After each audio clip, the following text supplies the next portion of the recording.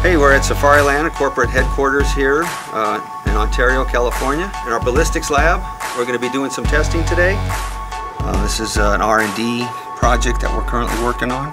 You know, when we test here at Safariland, what we're doing is we're designing for confidence, and it's really confidence that every piece of armor is going to perform the way we want it to perform. We're going to mark it accordingly to a, a certain shot pattern, and we're basically doing the same thing that our test labs do where we certify the armor, where we load our own bullets here to get the required velocities.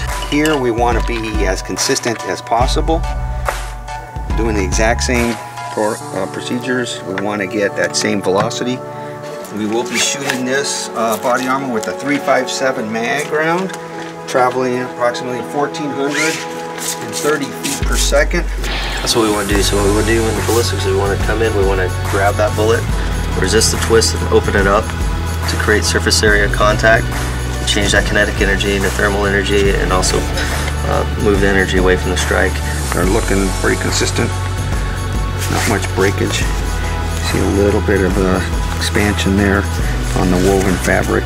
But this one, this material uh, is very ropey. It's kind of a thick weave, and we, that's what we like about this. Where we're using it, you know, in order to capture capture the bullets.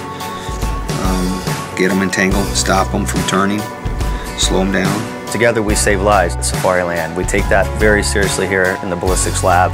We're the starting point of that in terms of creating products that will actually save lives.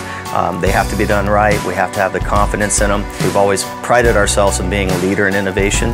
When I come to work every day, knowing that I have the best of the best tools to work with, I have the best people to work with, I have a company that supports me, and we have a community and the officers that, that we serve.